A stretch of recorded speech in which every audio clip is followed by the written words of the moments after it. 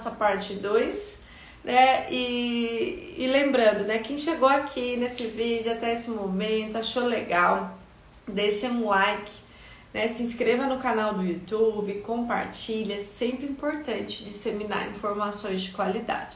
E agora a gente vai para a parte 2 dessa live sobre câncer de intestino. O Hamilton. A recidiva do câncer coloretal é possível depois de 5 anos e meio de acompanhamento com CEA e TC total de tórax é, normal? Em qual parte do corpo apareceria? É, câncer de cólon é mais comum quando ocorre a recidiva, obviamente, é, muitos pacientes são curados, tá, gente? É, ela ocorrer dentro realmente dos cinco primeiros anos, é o mais comum. Eu já vi recidiva com mais de cinco anos, já vi, mas é a minoria. Mas aí o Hamilton tá contando, né, que ele tá fazendo CEA tá normal e as tomografias estão normais. Onde é que é o local mais comum de recidiva de câncer de intestino? Pode ocorrer no fígado e no pulmão, então aqui tá ok, porque ele já fez os exames, né? Então não mostra nada. Importante fazer os exames com contraste, tá, gente? Pra, pra ver direitinho. Exame sem contraste não dá pra ver muito bem. É, pode aparecer também uma recidiva local, no local da cirurgia, né? E aí o CEA pode ajudar nessa, nessa identificação, porque ele pode aumentar e aí, quando o CEA aumenta, por exemplo, marcador tumoral, e faz os exames convencionais e não, não acha né, de onde vem essa elevação, importante fazer o PET scan. Como eu falei no caso anterior, na primeira parte da live, sobre o CEA, no, era um caso de câncer de mama que estava aumentando CEA, tinha feito endoscopia e colono, não tinha achado nenhum foco. A, a indicação aí é fazer um PET scan. Mas em qual lugar apareceria? É, fígado, pulmão, recidiva local na cirurgia, osso, tá? Os mais comuns. Mas depois de 5 anos é bem menos comum. É, seguindo aqui. Também uma pergunta de, de cólon. Boa noite, doutor. É, é do, do mesmo inscrito do Hamilton de Curitiba, tá? Faço acompanhamento de câncer coloretal, operado há 5 anos e meio. Na última tomografia de tórax, feita nesse mês de janeiro de 2023, apareceram vários nódulos pequenos, tipo árvore em brotamento, com suspeita de inflamação ou infecção nos bronquíolos. Não conversei ainda com minha oncologista, porém estou com medo que seja metástase. Pode passar alguma informação? Obviamente, as informações que eu passo aqui no canal são gerais eu não passo informações específicas, porque para passar informação específica, eu preciso avaliar o paciente em consulta, ver os exames, as imagens, entender o caso, tá, gente? E para isso existe a telemedicina. Então, quem quiser agendar uma consulta comigo por telemedicina, eu atendo pacientes de todo o Brasil e também em outros países, onde eu consigo avaliar as questões. Mas vamos lá, vou responder de forma geral aqui o Hamilton. É, é, importante ver, né, olhar essa imagem dessa tomografia, ver se morfologicamente existe algum nódulo suspeito, se existir algum nódulo suspeito, é, né, que de repente pedir uma biópsia. Ah, pode ser o caso também, como são pequenos, né, vários nódulos pequenos, podem ser nódulos inespecíficos, pode estar relacionado a alguma infecção. Então precisa olhar a imagem, conversar com o oncologista, pode ser inespecífico e pode ser secundário a uma infecção. Mas sim, o oncologista precisa estar a par, porque existe possibilidade de recidiva? Infelizmente existe, mas podem ser nódulos inespecíficos também secundários à infecção. Ficou na dúvida? o que, que o oncologista vai pedir? Biópsia de algum deles, ou fazer um acompanhamento bem de perto, ou tratar a infecção. Muitas vezes nós lançamos mão da ajuda do cirurgião torácico para ajudar nessa definição e do pneumologista também, tá? Hum, Tatiane, também um caso de câncer de intestino. Doutora, meu pai tem esse câncer de intestino com metástases hepáticas. Fez o exame de mutação há pouco tempo e a mutação é Carras. Ele faz uso de oxaliplatina e xeloda. Para essa mutação, tem mais opções de quimioterapia se a primeira opção não funcionar.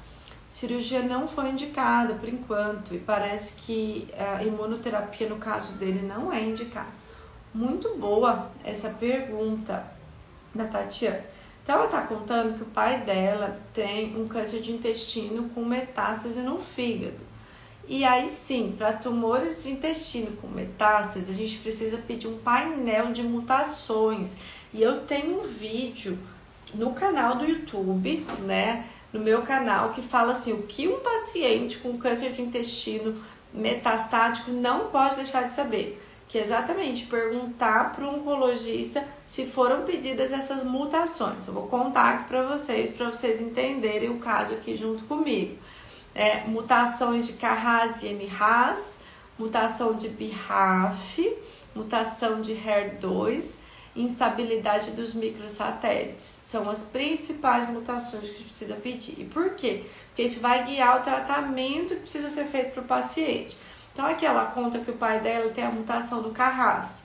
E quando tem a mutação do Carras, existem dois remédios que nós temos para esse tratamento do câncer de intestino que não funcionam, então que não devem ser utilizados, que é o panitumumab e o cetuximab.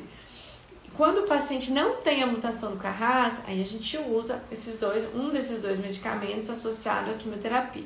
Mas quando o paciente então tem essa mutação do Carras, aí tem um outro medicamento que a gente pode é, associar à quimioterapia, que é o bevacizumab, tem também o aflibercept, então tem alguns anticorpos monoclonais que eu posso associar, tá? Importante, Tatiane, ver se além da mutação do Carras, o seu pai não tem outra mutação. Por exemplo, a mutação do BRAF, a mutação do HER2. E para saber se ele pode ou não fazer imunoterapia, precisa de ver se ele tem instabilidade dos microsatélites. É um exame que pede ali, pode pedir junto com as mutações, é um exame simples. Então, conversa com o oncologista dele, vê se pediu se tiver essa instabilidade dos microsatélites, né, ele pode sim é, se beneficiar com a imunoterapia. Né? E, porém, essa instabilidade dos microsatélites ela está presente em só 5% dos pacientes com câncer de intestino metastático. Mas quando ela está presente, a imunoterapia é muito positiva, o resultado é muito bom. Terminei aqui é, as perguntas e agora eu vou responder a pergunta de vocês que estão aqui, ó. Câncer inicial no intestino, metástase no peritônio, pleura e pulmão avançado. Esgotado toda forma de tratamento, era exatamente isso que eu tava contando aqui. Sem saber, eu não tinha nem lido a pergunta, né? E as perguntas, quando eu digo que as perguntas se complementam, mas precisa ver se foram testadas todas as mutações porque hoje no Brasil nós temos várias opções de tratamento alvo, terapia alvo para o câncer de intestino.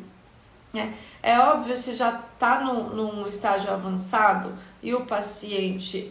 O único tratamento que eu consigo fazer sem a quimioterapia é a imunoterapia, mas aí, como eu falei para vocês, é quando o paciente tem a instabilidade dos microsatélites, essa alteração no exame. É, se o paciente não, é, não tem condições de fazer quimioterapia e não também não consegue, é, não tem indicação de imunoterapia, essa terapia alvo sozinha não age tão bem. É, nós temos aí dois medicamentos que podem ser utilizados num cenário um pouquinho mais avançado, né, que eu vou, vou, citar o nome deles aqui e novamente, sempre que eu cito nomes, eu não estou indicando para ninguém, não estou fazendo propaganda, nada, nada, nada, é título de conhecimento. Né, mas um deles é o Lonsurf, que é um medicamento relativamente novo no Brasil, e o outro é o Stivarga, que é um medicamento oral, ambos são orais, um pouquinho mais antigo, mas também pode ser utilizado. Então, conversa com o oncologista sobre essas possibilidades, sobre as mutações, mas principalmente né, sobre a condição física do paciente, tá bom? Lembrando, né, quem entrar aqui depois, não me conhece ainda, eu sou a doutora Vivian Koski, sou oncologista aqui em São Paulo, né, faço atendimentos presenciais em São Paulo Tenho dois consultórios aqui, um fica na Vila Mariana, outro fica em Moema. No consultório de Moema, nós temos a clínica de infusão, onde fazemos os tratamentos mais modernos para o câncer, imunoterapia, quimioterapia. Lá atendemos vários convênios. Né? Convido vocês a conhecerem a clínica aqui em São Paulo e sejam bem-vindos se quiserem fazer o tratamento aqui, sobre o meu acompanhamento. E também atendo consultas de telemedicina para pacientes de todo o Brasil e também de outros países. É, boa tarde, doutor. O paciente com câncer metastático que precisa de quimioterapia para controle de doença pode ter um intervalo da quimio? Ah, eu já respondi essa pergunta lá em cima, né? Quando eu falei sobre férias de quimioterapia, que pode, quando a doença está controlada, é possível, tá? Doutor, um câncer de intestino sem metástases e já retirado por cirurgia, precisa saber a mutação do tumor? Não vai impactar no tratamento, porque como, como ele não tem metástase, a gente não vai utilizar essa informação para definir o tratamento. Mas é importante deixar essa informação guardada, né? Porque é o perfil genético, o perfil molecular do tumor. Mas não impacta no tratamento, saber ou não a mutação. Quando eu estou falando que é um câncer de intestino sem metástase. Mas eu, já, eu gosto de deixar a informação guardada para saber a biologia do tumor. Vamos ver se temos mais perguntas. Não temos mais perguntas.